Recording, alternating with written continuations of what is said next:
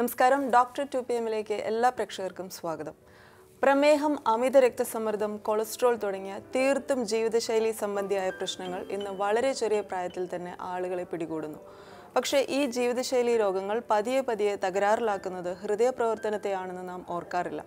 പലപ്പോഴും ഹൃദയാഘാതം അഥവാ ഹാർട്ട് അറ്റാക്ക് എന്ന അടിയന്തരാവസ്ഥ എത്തും വരെ പല ഹൃദ്രോഗങ്ങളും തിരിച്ചറിയാതെ പോകുന്നുണ്ട്. ഹൃദയധമനികളിലെ ബ്ലോക്കും മറ്റു ചില ഹൃദ്രോഗങ്ങളും. ചിലപ്പോൾ ലക്ഷണങ്ങൾ ഒന്നും പ്രകടമാക്കണമെന്നില്ല. നമ്മുടെ ജീവിത രീതികളിലെ കുഴപ്പങ്ങളും വ്യായാമക്കുറവും ദുശീലങ്ങളും നമ്മുടെ ഹൃദയത്തിന് സമ്മാനിക്കുന്നത് വലിയ ആഘാതമാണ്. ഹൃദയാരോഗ്യം കാത്തുസൂക്ഷിക്കാൻ ജീവിത രീതികളിൽ വരുത്തേണ്ട മാറ്റങ്ങളും എടുക്കേണ്ട മുൻകരുതലുകളും ഹൃദ്രോഗം നേരത്തെ തിരിച്ചറിയാനുള്ള പരിശോധനാ മാർഗങ്ങളുമാണ് ഇന്ന് ഡോക്ടർ ടു പി എം ചർച്ച ചെയ്യുന്നത്. നമ്മോടൊപ്പം ചേരുന്നത് കോഴിക്കോട് മേത്ര ആശുപത്രിയിലെ കാർഡിയോളജിസ്റ്റായ ഡോക്ടർ ശ്രീതൽ നായരാണ്. ഡോക്ടർ പ്രോഗ്രാമിലേക്ക് സ്വാഗതം. ഡോക്ടർ ആദ്യം തന്നെ ചോദിച്ചോളട്ടെ ഹൃദ്രോഗങ്ങൾക്ക് കാരണമാകുന്നത് എന്തൊക്കെയാണ്? ഇപ്പോൾ ഹൃദ്രോഗം ഉണ്ടാക്കുന്ന കാരണങ്ങൾ എന്തൊക്കെയാണ്? അതിൽ നിയന്ത്രിക്കാവുന്നതും തിരുത്താവുന്നതും ഒക്കെയായ കാരണങ്ങൾ ഉണ്ടാകും. ഒന്ന് വിശദമാക്കാമോ? ഹൃദ്രോഗം അല്ലെങ്കിൽ ഹാർട്ട് ഡിസീസസ് എന്ന് പറയുന്നത് പല കാരണങ്ങൾ കൊണ്ട് ഉണ്ടാവാം. അപ്പം അതിൽ നമുക്ക് റിസ്ക് ഫാക്ടേഴ്സ് എന്നാണ് നമ്മൾ അതിന് പറയുക ഇതിലേക്ക് നയിക്കുന്ന കാരണങ്ങളെ റിസ്ക് ഫാക്ടേഴ്സ് അല്ലെങ്കിൽ അപകട ഘടകങ്ങൾ അതിന് അതാണ് പറയുക അപ്പം അത് മോഡിഫയബിൾ അല്ലെ നമുക്ക് മാറ്റാൻ പറ്റാവുന്നത്. ആൻഡ് നോൺ മോഡിഫയബിൾ അങ്ങനെ രണ്ട് തരത്തിലാണ് നമ്മളതിനെ തരംതിരിച്ചിരിക്കുന്നത് അതിൽ മോഡിഫയബിൾ റിസ്ക് ഫാക്ടേഴ്സ് എന്ന് പറഞ്ഞാൽ നമ്മളെ കൊണ്ട് നമ്മുടെ ജീവിതശൈലി കൊണ്ട് പല കാരണങ്ങളും നമുക്ക് ചെയ്ത് മാറ്റാൻ പറ്റാവുന്ന കാര്യങ്ങളാണ്. എക്സാമ്പിൾ പറയുകയാണെങ്കിൽ പ്രമേഹം diabetes blood pressure hypertension അമിതമായ രക്ത രക്തസമ്മർദ്ദം പിന്നെ കൊളസ്ട്രോൾ ഈ ശരീരത്തിലെ ചീത്ത കൊളസ്ട്രോളിന്റെ അളവ് കൂടുക. അപ്പോൾ ഇതെല്ലാം ഒരു പരിധിവരെ നമുക്ക് കൺട്രോൾ ചെയ്യാൻ പറ്റും. നമുക്ക് നമ്മുടെ ജീവിതശൈലി കൊണ്ട് മാറ്റം വരുത്താൻ പറ്റും. അപ്പോൾ അതാണ് മോഡിഫയബിൾ റിസ്ക് ഫാക്ടേഴ്സ് എന്ന് പറയുക പിന്നെ നോൺ മോഡിഫയബിൾ ഉണ്ട്. നമ്മളെ കൊണ്ട് നമുക്ക് ജന്മനാ കിട്ടുന്ന കുറച്ച് കാര്യങ്ങൾ. അതായത് പ്രായം. പ്രായം നമുക്ക് കൺട്രോൾ ചെയ്യാൻ പറ്റുന്നതല്ല. പ്രായമാകുമ്പോൾ ഹൃദ്രോഗം വരാം. ആർക്കും വരാം. പല ഒരു എഴുപത് വയസ്സ് കഴിഞ്ഞാൽ എൺപത് വയസ്സ് കഴിഞ്ഞാൽ നമ്മൾ ചിലപ്പോൾ പല പ്രിക്കോഷൻസ് എടുത്താലും അത് വരാം. അപ്പോൾ അത് നമുക്ക് പ്രിവെന്റബിൾ അല്ല. പക്ഷേ നമുക്കത് മറ്റ് ഇപ്പോൾ നേരത്തെ പറഞ്ഞാൽ എക്സസൈസ് ഒക്കെ ചെയ്ത് കഴിഞ്ഞാൽ മോഡിഫൈ ചെയ്യാൻ പറ്റും. അതുപോലെ തന്നെയാണ് നമ്മുടെ ജനറ്റിക്സ് ഫാമിലി ഹിസ്റ്ററി പലപ്പോഴും നമ്മൾ കാണാറുള്ള ഒരു ഇതാണ്. ഫാമിലി ഹിസ്റ്ററി നമ്മൾ നോക്കിക്കഴിഞ്ഞാൽ വളരെ ചെറുപ്പത്തിൽ മുപ്പത് വയസ്സ് നാൽപ്പത് വയസ്സിലൊക്കെ മൂന്നും നാലും ബ്ലോക്കുള്ള ആൾക്കാരെ നമ്മൾ കാണാറുണ്ട്. അവർക്ക് പ്രത്യേകിച്ചും ചിലപ്പോൾ കാരണങ്ങളൊന്നും കാണില്ല. അപ്പോൾ അതൊരു ജനറ്റിക് ഫാക്ടർ അതിലുണ്ട്. നമുക്ക് പാരമ്പര്യമായിട്ട് കിട്ടുന്ന കുറച്ച് കാര്യങ്ങളുണ്ട്. അപ്പോൾ അതിനെ മോഡിഫൈ ചെയ്യാൻ കുറച്ച് ബുദ്ധിമുട്ടാണ്. അത് നോൺ മോഡിഫൈ അതുപോലെ തന്നെയാണ് നമ്മുടെ പുരുഷൻ സ്ത്രീ എന്നുള്ള ആ, ഒരു അവസ്ഥ. പുരുഷന്മാർക്ക് കൂടുതൽ ഇത് വരാനുള്ള റിസ്ക് കൂടുതലാണ്. പക്ഷേ സ്ത്രീകൾക്ക് ഒരു പ്രായം വരെ റിസ്ക് കുറവാണ്. പക്ഷേ ഒരു അമ്പത് വയസ്സ് കഴിഞ്ഞാൽ സ്ത്രീകൾക്കും ഹൃദ്രോഗം വരാനുള്ള ചാൻസ് കൂടുതലാണ്. അപ്പോൾ അതാണ് മോഡിഫയബിൾ നോൺ മോഡിഫൈബിൾ ഇതാണ് ബേസിക് റിസ്ക് ഫാക്ടേഴ്സ് നമ്മൾ അങ്ങനെ ഉദ്ദേശിക്കുന്നത്. ഡോക്ടറുടെ ഒ പിയിൽ ഏറ്റവും സാധാരണമായി കാണപ്പെടുന്ന ഹൃദ്രോഗങ്ങൾ ഏതൊക്കെയാണ്? നമ്മൾ നമ്മുടെ കാർഡിയാക് ഒ പി ഡി നമ്മൾ അഡൽസിനെയാണ് യൂഷ്വലി കാണുക അഡൽസ് നമ്മൾ വളരെ കോമൺ ആയിട്ട് കാണുന്നത് ഏറ്റവും ഈ കൊറോണറി ആർട്ടറി ഡിസീസ് എന്ന് പറയുന്ന ഇത് തന്നെ ഡിസീസിന്റെ അവസ്ഥ തന്നെയാണ്. കൊറോണറി ആർട്ടറി ഡിസീസ് എന്ന് പറഞ്ഞാൽ നമ്മുടെ ഹൃദയത്തിന്റെ ധമനികളുടെ ഉള്ളിൽ കൊളസ്ട്രോൾ അടിഞ്ഞു കൂടിയിട്ട് ബ്ലോക്ക് വരുന്ന അവസ്ഥയാണ് നമ്മൾ കാണുക അപ്പോൾ ആൾക്കാർ പലതരത്തിൽ നമ്മളെ ഇതിൽ ഒ പി ഡിയിൽ വരാറുണ്ട്. ചിലർ നെഞ്ചുവേദന എന്ന് പറഞ്ഞിട്ട് വരും. ചിലർ കിതപ്പ് എന്ന് പറഞ്ഞിട്ട് വരും. നമ്മൾ ബേസിക്കലി നെഞ്ചുവേദന എന്ന് പറഞ്ഞാൽ ആൻജൈന എന്നാണ് പറയുക. ആൻജൈനൽ ഇക്വലൻസ് ആൻജൈന അങ്ങനെയാണ് പറയുക. അപ്പം ആൻജൈന എന്ന് പറഞ്ഞാൽ നെഞ്ചിന്റെ നടുഭാഗത്ത് വേദന വരിക. വേദന വന്നിട്ട് അത് കൈകളിലേക്ക് ഇങ്ങനെ മാറിപ്പോവുക. ചില ആൾക്കാർക്ക് നടക്കുമ്പോൾ വേദന വരും. കുറച്ച് നേരം റെസ്റ്റ് എടുത്തു കഴിഞ്ഞാൽ വേദന മാറും. അല്ലെങ്കിൽ ഗുളിക എന്തെങ്കിലും കഴിച്ചാൽ വേദന മാറും. അതിനെ നമ്മൾ എഫേർട്ട് ആൻജിന വരും നടക്കുമ്പോൾ വേദന വരിക. എന്തെങ്കിലും ചെയ്യുമ്പോൾ വേദന വരിക. അതിനെയാണ് അതിനെ നമ്മൾ എഫേർട്ട് ആൻജിന എന്ന് പറയും. അതല്ലാതെ ചിലപ്പോൾ ഒരു ബുദ്ധിമുട്ടില്ലാത്ത ആൾക്കാർ പെട്ടെന്നൊരു ദിവസം നെഞ്ചത്ത് ഭയങ്കര വേദന വരിക. മനസ്സിലായില്ല? അപ്പോൾ അതിനെ നമ്മൾ അതിന് ഒരു തരം ആൻജീന തന്നെയാണ്. അതിനെ അൺസ്റ്റേബിൾ ആൻജീന എന്നാണ് പറയുക. അതുപോലെ പല ആൾക്കാർക്കും വേദന തന്നെ ഉണ്ടാകണമെന്നില്ല. കിതപ്പ് അല്ലെങ്കിൽ നെഞ്ചിടുപ്പ് കൂടുക. അപ്പം അങ്ങനത്തെ പല പല ലക്ഷണങ്ങളായിട്ട് ആൾക്കാർ വരാറുണ്ട്. അപ്പോൾ അതിനെ നമ്മൾ ബേസിക്കലി ആളുകളെ നോക്കിയിട്ടാണ് നമ്മൾ തരംതിരിക്കുക. അപ്പോൾ ആളുകളുടെ അവസ്ഥ. ഇപ്പോൾ എന്തെങ്കിലും ഈ നേരത്തെ പറഞ്ഞ റിസ്ക് ഫാക്ടേഴ്സ് ഉള്ള ആൾക്കാരാണോ? മോഡിഫയബിൾ റിസ്ക് ഫാക്ടേഴ്സ് ഉണ്ട്? നമ്മൾ ഒരാളെ വന്ന് നമ്മളെ ഹിസ്റ്ററി എടുത്തു കഴിഞ്ഞാൽ അവർക്ക് എന്തെങ്കിലും ഇത് വരാൻ സാധ്യതയുള്ള ആൾക്കാരാണോ? അതാണ് നമ്മൾ ആദ്യം നോക്കുക. അപ്പോൾ അത് നോക്കിയിട്ട് പിന്നെ അവരെ നമ്മൾ ഫർദർ ഇവാലുവേറ്റ് ചെയ്യണം. അപ്പോൾ അതൊക്കെയാണ് നമ്മൾ ഡോക്ടർ ഈ ഒ പിയിൽ നെഞ്ചുവേദനയുമായി വരുന്ന രോഗികൾക്ക് ടിപ്പിക്കൽ കാർഡിയക് പെയിൻ തന്നെയാണെന്ന് എങ്ങനെയാണ് തിരിച്ചറിയുക? കാരണം നെഞ്ചിന്റെ ഭാഗത്ത് ഹൃദയം മാത്രമല്ല ലെങ്സ് ഉണ്ട് അന്നനാളമുണ്ട് കാർട്ടിലേജസ് ഉണ്ട് നെർവ്സ് ഉണ്ട്. അപ്പം മറ്റെന്തുമായി ബന്ധപ്പെട്ട വേദനയും ആവാമല്ലോ അത്? യൂഷ്വലി നമ്മൾ കാർഡിയക് പെയിൻ എന്ന് പറഞ്ഞു കഴിഞ്ഞാൽ യൂഷ്വലി നെഞ്ചിന്റെ നടുഭാഗത്താണ് ഉണ്ടാവുക. നടുഭാഗത്ത് റിട്രോസ്റ്റേണൽ പെയിൻ എന്ന് നമ്മൾ പറയാം. ഈ നമ്മുടെ നടുവില്ലിന്റെ ബാക്കിലായിട്ടാണ് അതിന്റെ ഒറിജിൻ. അത് കഴിഞ്ഞിട്ട് മോസ്റ്റ്ലി അത് നമ്മുടെ ഇടത്തെ കൈയിലേക്കാണ് നീങ്ങിപ്പോവുക വലത്തെ കൈയിലേക്കും പോവാം കഴുത്തിലേക്ക് പോവാം അങ്ങനെ പല ഭാഗത്തേക്ക് അത് നീങ്ങിപ്പോവാറുണ്ട് ശ്രദ്ധിക്കേണ്ട കാര്യം എന്താണെന്ന് വെച്ച് കഴിഞ്ഞാൽ ചില വേദനകൾ ഇപ്പോൾ പൊക്കിളിന് താഴേക്ക് ഹാർട്ടിന്റെ വേദന പോവില്ല. അപ്പോൾ ഒരു വേദന നമ്മൾ പൊക്കിളിന് താഴേക്കാണ് പോകുന്നതെങ്കിൽ അത് ഹാർട്ടിൽ നിന്ന് അല്ലെങ്കിൽ ഹൃദയത്തിൽ നിന്ന് വരാനുള്ള ഒരു സാധ്യത വളരെ കുറവാണ്. പക്ഷേ അതിന് മുകളിലേക്കുള്ള പെയിൻ കാർഡിയക് അത് നമ്മൾ ഒരാളെ നോക്കിയിട്ടാണ് ഡിസൈഡ് ചെയ്യുക പിന്നെ എന്താ നേരത്തെ പറഞ്ഞ പോലെ ഇപ്പോൾ നമ്മൾ നടക്കുമ്പോൾ ഒരാൾക്ക് വേദന വരിക അപ്പോൾ റെസ്റ്റ് എടുക്കുമ്പോൾ മാറുക അത് ടിപ്പിക്കലി ഒരു കാർഡിയക് പെയിൻ ആണ്. കാരണം നമ്മൾ എന്തെങ്കിലും ജോലി ചെയ്യുമ്പോൾ ഹാർട്ടിന് വർക്ക് ലോഡ് കൂടും. വർക്ക് ലോഡ് കൂടുമ്പോൾ ബ്ലോക്ക് ഉള്ള ആൾക്കാർക്കാണെങ്കിൽ ആ ബ്ലോക്ക് ആ ഒരു ബ്ലോക്ക് കാരണം ഹാർട്ടിന്റെ മസിൽസിലേക്കുള്ള രക്തോട്ടം കുറച്ച് കുറയും. അപ്പോഴാണ് വേദന വരിക റെസ്റ്റ് എടുക്കുമ്പോൾ ആ വേദന കുറയും. അപ്പോൾ അതാണ് നമ്മൾ മെയിൻലി നോക്കുന്നത്. പിന്നെ സിംറ്റംസ് ആണ് യൂഷ്വലി ഇവാലുവേറ്റ് ചെയ്യുന്നത് നമ്മൾ ഒരു പേഷ്യന്റിനെ വരുമ്പോൾ നോക്കുന്നത്. ഡോക്ടർ നമുക്ക് കൊല്ലത്ത് നിന്ന് വിനയൻ എന്നൊരു പ്രേക്ഷകൻ കോളുണ്ട് വിനയൻ സംസാരിച്ചോളൂ. ഹലോ. Hello doctor. യാ പറയൂ. ഹലോ. പറയൂ പറയൂ. കേൾക്കുന്നുണ്ട് പറഞ്ഞോളൂ. എനിക്ക് ഷുഗർ ഇപ്പം ഉണ്ട് ഇപ്പം ഫാസ്റ്റിങ്ങിൽ നൂറ്റി നാൽപ്പത്തി നാല് പിന്നെ പ്രഷർ ഉണ്ട് പ്രഷർ കൺട്രോളിലാണ് പക്ഷെ എനിക്ക് സെൻട്രൽ ഭാഗത്തുണ്ട്. ഈ ശ്വാസം ഇറങ്ങുന്നിടത്ത് ഇടിച്ചിറങ്ങുന്ന പോലെ തോന്നും ചില സമയത്ത്. അത് ഇങ്ങനെ ശ്വാസം എടുത്തു വിടുകയും ചെയ്യേണ്ടി വരുന്നത് പിന്നെ ചെറിയ ഒരു പെയിൻ പോലെ വരാറുമുണ്ട്. ഞാൻ ഡോക്ടറെ അടുത്ത് ചെന്നപ്പോൾ ഡോക്ടർ പറഞ്ഞ് ഒരു ഇ സി ജി എടുത്തുകൊണ്ട് ചെല്ലാൻ പറഞ്ഞു. ഇത് എന്തിന്റെയെങ്കിലും ലക്ഷണമാണോ? ഇത് നമുക്ക് ഇത് ശരിക്കും നമ്മൾ ഇത് ഇവാലുവേറ്റ് ചെയ്യണം. കാരണം നിങ്ങൾ ഷുഗർ ഉള്ള ഒരാളാണോ? ഷുഗറിന് മരുന്ന് കഴിക്കുന്നതാണോ? ഇന്നുണ്ട് കഴിക്കുന്നുണ്ട്. അപ്പോൾ ബേസിക്കലി ഷുഗർ ഉള്ള ഒരാൾ പ്രഷർ നോർമലാണ് അപ്പോൾ ഒരു നമ്മൾ റിസ്ക് ഫാക്ടേഴ്സ് ഉള്ള ഒരാളാണ്. അപ്പോൾ റിസ്ക് ഫാക്ടേഴ്സ് ഒരാൾ എത്രയുണ്ട് താങ്കളുടെ ഏജ് വയസ്സ് എത്രയുണ്ട്? അറുപത്തെട്ട്. അപ്പോൾ എപ്പോഴും നമ്മൾ ഇങ്ങനെയുള്ള ആൾക്കാർ നമ്മൾ ശരിക്കും പറഞ്ഞാൽ ഒരു ആനുവലി അല്ലെങ്കിൽ ഒരു ചെക്കപ്പ് നടത്തേണ്ട ആവശ്യമുണ്ട്. ഷുഗർ ഉള്ളവർക്ക് എപ്പോഴും ഒരു ടിപ്പിക്കൽ പെയിൻ ചെസ്റ്റ് പെയിൻ വരണം എന്ന് നിർബന്ധമില്ല. അവർക്ക് ചിലപ്പോൾ വേദന വരാം വേദന തന്നെ ആവണമെന്നില്ല. ചിലപ്പോൾ കിതപ്പായിട്ട് ഈ പെയിൻ അനുഭവപ്പെടാം.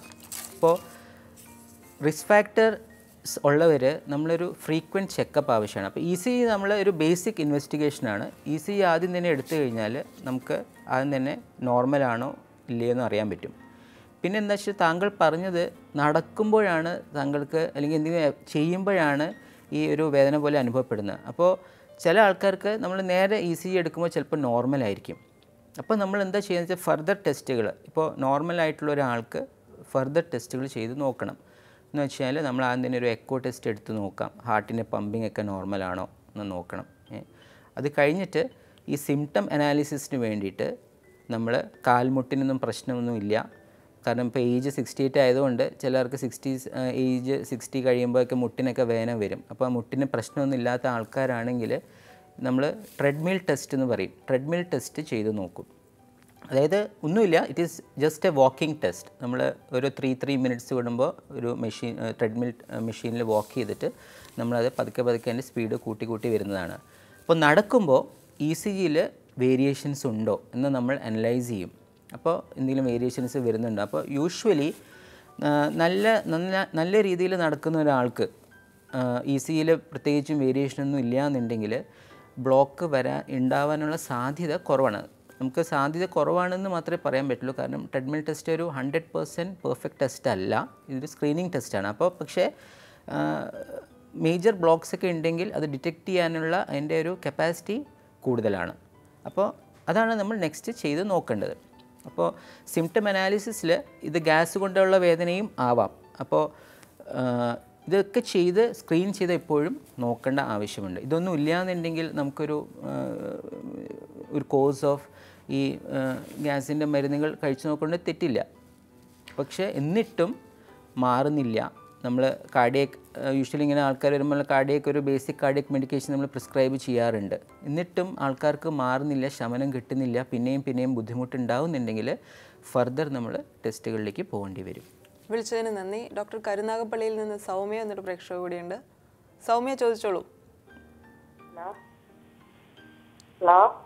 പറയൂ കേൾക്കുന്നുണ്ട് പറഞ്ഞോളൂ. ഡോക്ടർ നമസ്കാരം. എന്റെ പേര് സൗമ്യ. എനിക്ക് മുപ്പത്തൊന്ന് വയസ്സുണ്ട്. പറയൂ സൗമ്യ. അപ്പം എനിക്ക് ഇപ്പം ഒരു ഒരാഴ്ചയായിട്ട് നെഞ്ചിന് നടുക്ക് വേദന വന്നിട്ട് കൈക്ക് തരിപ്പ് അനുഭവപ്പെടുന്നുണ്ട്. ഓക്കെ. അപ്പം കൊളസ്ട്രോൾ പ്രഷർ ഷുഗർ ഇതൊക്കെ തന്നെ നോർമലാണ് ഇപ്പോൾ ഓക്കെ. അപ്പം അത് എന്തുകൊണ്ടാണെന്നുള്ള ഒരു ടെൻഷൻ എനിക്കുണ്ട് ഈ ഒരുപാട് വായിക്കുകയൊക്കെ ചെയ്യുന്നോണ്ട് ഒരു ടെൻഷനുണ്ട് അപ്പം എവിടെയാണ് വേദന അനുഭവപ്പെടുന്നത്? നെഞ്ചിൽ തന്നെ വേദന വരുന്നത്. വന്നിട്ട് ആ വേദന നമ്മുടെ കയ്യിലേക്കും കഴുത്തിന്റെ പുറകിലായിട്ട് പിന്നെ കൈ ഇടത്തെ കയ്യിലേക്ക് ആ വേദന വരുന്നുണ്ട്. ഒരു തരിപ്പുണ്ട്. ചില സമയത്ത് കൈക്കൊരു ഭാരം പോലെ തോന്നുന്നുണ്ട്. Okay okay. ബേസിക് നിങ്ങൾ പറഞ്ഞതനുസരിച്ചിട്ട് നിങ്ങൾക്ക് വേറെ റിസ്ക് ഫാക്ടേഴ്സ് ഒന്നും ഇല്ല. മുപ്പത്തൊന്ന് വയസ്സെന്നല്ലേ പറഞ്ഞത് അല്ലേ? ആ മുപ്പത്തൊന്ന് വയസ്സിൽ യൂഷ്വലി ഒരു കാർഡിയക് ഡിസീസ് വരാനുള്ള ഏജ് അല്ല. പ്രത്യേകിച്ചും സ്ത്രീകളാവുമ്പോൾ ഏജ് അല്ല. പക്ഷേ നിങ്ങൾ പറയുന്ന ഈ സിംറ്റം ഇപ്പോൾ വേദന എന്തെങ്കിലും ചെയ്യുമ്പോഴാണോ വരുന്നത് എല്ലാ സമയവും വരുന്നുണ്ടോ? അതോ എന്തെങ്കിലും ജോലി ചെയ്യുമ്പോൾ സ്റ്റെപ്പ് കയറുമ്പോഴാണോ വരുന്നത്? ഇല്ല ഇല്ല. അങ്ങനെ ഇല്ല ഡോക്ടർ. ചില സമയങ്ങളിൽ ആ. അപ്പോൾ നമ്മൾ ബേസിക്കലി ഇതൊരു കൺസിസ്റ്റന്റ് സിംറ്റം അല്ല. എല്ലാ സമയത്തും വരുന്നില്ല. ചില സമയങ്ങളിലാണ് വരുന്നത്. അപ്പോൾ നമ്മൾ ഈ എപ്പോഴും ഹാർട്ടിനെ കേന്ദ്രീകരിച്ച് പോകണമെന്നില്ല നമ്മൾ ഐഡിയലി ചെയ്യേണ്ടതെന്ന് വെച്ചാൽ അതിനെ നമ്മളൊരു അടുത്ത ഒരു ഫിസിഷ്യനെ കാണണം. എന്നിട്ട് നമ്മളിപ്പോൾ നിങ്ങൾ നെഞ്ചിന്റെ നടുക്ക് എന്ന് പറഞ്ഞത് ഇപ്പോൾ കഴുത്ത് ഇപ്പോൾ സെർവൈക്കൽ സ്പോണ്ടൈലോസിസ് എന്ന് പറയും. നമ്മൾ ഈ സ്പോണ്ട് ഈ കഴുത്തിന്റെ ഞരമ്പുകളുടെ അവിടുത്തെ തേയ്മാനം ഡിസ്കിന്റെ ഡിസീസസ് ഒക്കെ ഉണ്ടെങ്കിൽ ഇങ്ങനെ ചെസ്റ്റ് പെയിനും കയ്യിലേക്കുള്ള തെരിപ്പും വേദനയും അനുഭവപ്പെടാം. പല പ്രത്യേക പോസ്റ്ററുകൾ ഇരിക്കുമ്പോൾ നമ്മൾ രാത്രി കിടക്കുമ്പോൾ പോസ്റ്ററൊന്നും ശരിയല്ലെങ്കിൽ ഇങ്ങനെ വേദനകൾ വരാം. ഹാർട്ടിന്റെ അല്ലാതെ നമുക്ക് ഉറപ്പിച്ച് പറയാൻ പറ്റില്ല. പക്ഷെ എന്നാലും നമ്മൾ ആദ്യം തന്നെ ഫിസിഷ്യനെ കണ്ടിട്ട് ഈ പറഞ്ഞ പോലെ ഒരു ജസ്റ്റ് ഒരു ഇ സി ജി നമ്മളൊരു ബേസിക് ടെസ്റ്റാണ് എടുത്ത് നോക്കാവുന്നതാണ്. പിന്നെ ഗ്യാസിന്റെ വേദനയും ഇങ്ങനെ കയ്യിലേക്ക് യൂഷ്വലി പോകാറില്ല പക്ഷെ എന്നാലും ഈ നെഞ്ചിന്റെ നടുക്ക് അനുഭവപ്പെടാറുണ്ട്. ഗ്യാസിന്റെ പ്രശ്നം ഉണ്ടെങ്കിൽ നമുക്കൊരു ഗ്യാസിന്റെ മരുന്ന് ഒരു കോഴ്സ് കഴിച്ചു നോക്കേണ്ടതായിട്ടും വരും ചിലപ്പോൾ. വിളിച്ചതിന് നന്ദി. ഡോക്ടർ നമുക്ക് ഒരു ഇടവേളയ്ക്ക് സമയമായിരിക്കുന്നു. ഡോക്ടർ ടു പി എമ്മിൽ ഒരു ഇടവേള.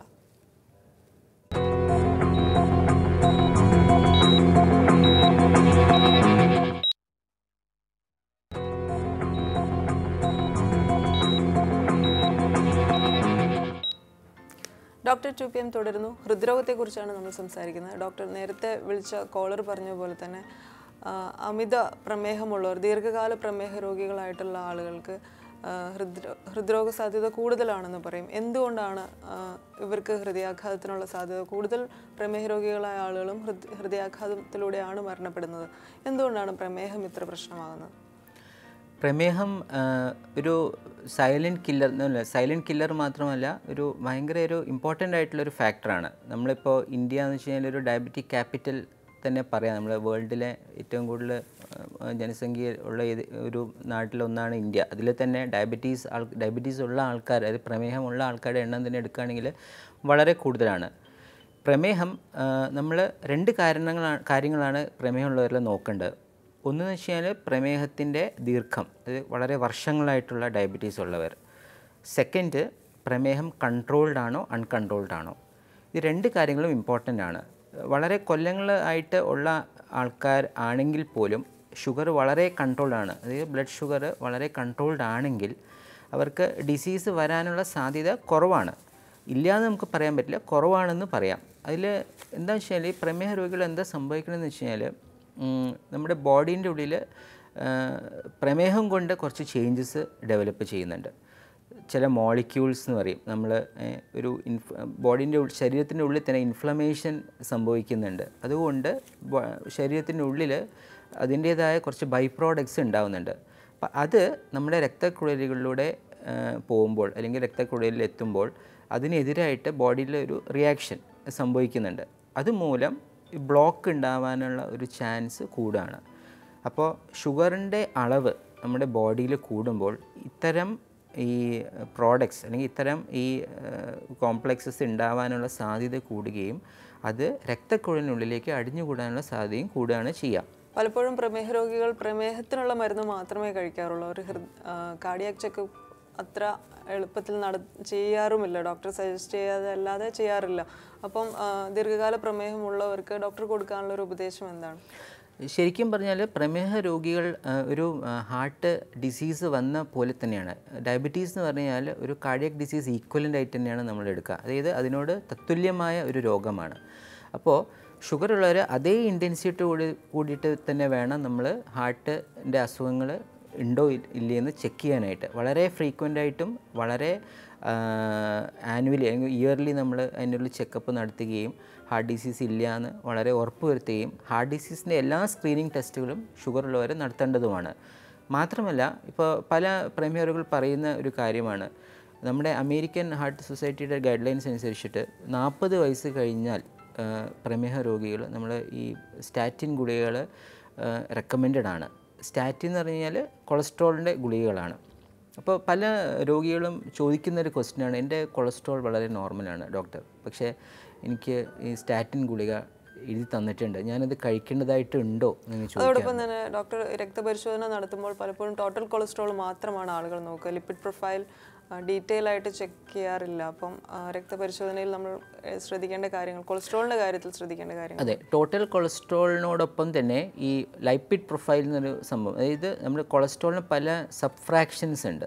അത് വളരെ നമ്മൾ നോക്കേണ്ടതായിട്ടുണ്ട്. അതിൽ ഗുഡ് കൊളസ്ട്രോൾ ബാഡ് കൊളസ്ട്രോൾ ഈ ബാഡ് കൊളസ്ട്രോൾ എന്ന ആൾക്കാർ നമ്മൾ പറയുന്നത് L D L V L D L triglyceride ഇത് മൂന്നുമാണ് മേജർ കമ്പോണൻസ് അപ്പോൾ ഇതാണ് ബാഡ് കൊളസ്ട്രോൾ വരുന്നത് good cholesterol H D L എന്ന് പറയുന്ന കൊളസ്ട്രോൾ ഹൈ ഡെൻസിറ്റി ലിപ്പോപ്രോട്ടീൻ എന്ന് പറയുന്ന കൊളസ്ട്രോളാണ് ഗുഡ് കൊളസ്ട്രോൾ വരുന്നത്. അപ്പോൾ ഇത് ഈ ഗുഡ് കൊളസ്ട്രോളിന്റെ അളവ് ശരീരത്തിൽ കൂടുകയും ബാഡ് കൊളസ്ട്രോളിന്റെ അളവ് ശരീരത്തിൽ കുറയുകയും ചെയ്യുന്നതാണ് ഒരു ആളെ സംബന്ധിച്ചിടത്തോളം നോക്കേണ്ട കാര്യങ്ങൾ. അപ്പോൾ പല ഫാക്ടേഴ്സ് ഇപ്പോൾ കൊഴുപ്പ് കൂടിയ ഭക്ഷണങ്ങൾ ഫാസ്റ്റ് ഫുഡ്സ് അല്ലെങ്കിൽ പൊരിച്ച പദാർത്ഥങ്ങൾ. അത് വെജിറ്റേറിയൻ ആയാലും നോൺ വെജിറ്റേറിയൻ ആയാലും ഇത് കൂടു ഇത് കഴി കൂടുതൽ കഴിക്കുമ്പോൾ നമ്മൾ ബാഡ് കൊളസ്ട്രോളിന്റെ അളവ് ശരീരത്തിൽ കൂടുകയാണ് ചെയ്യുന്നത്. അതുപോലെ തന്നെ വ്യായാമക്കുറവ്. വ്യായാമക്കുറവ് ഉണ്ടെങ്കിലും ഈ ബാഡ് കൊളസ്ട്രോൾ കൂടും. എച്ച് ഡി എൽ അതേപോലെ തന്നെ നമ്മൾ താരതമ്യേന കുറയുകയും ചെയ്യും. അപ്പോൾ ഇതിന് നേരെ ഓപ്പോസിറ്റായിട്ട് നമ്മൾ ചെയ്യണം. അതായത് നമ്മൾ പൊരിച്ച സാധനങ്ങൾ ഓയിലി ഫുഡ്സ് മാക്സിമം ഒഴിവാക്കുക. പിന്നെ എക്സസൈസ് റെഗുലർ എക്സസൈസ് അത് ഭയങ്കര ഇമ്പോർട്ടന്റ് ആണ്. കാരണം എക്സസൈസ് ചെയ്യുമ്പോൾ തന്നെ നമ്മുടെ എച്ച് ഡി എല്ലിന്റെ ലെവൽ ഓട്ടോമാറ്റിക്കലി കൂടുന്നതാണ്. ഡോക്ടർ നമുക്ക് ഒരു ഇടവേളയ്ക്ക് കൂടി സമയമായിരിക്കുന്നു. ഇടവേളയ്ക്ക് ശേഷം തിരിച്ചെത്താം.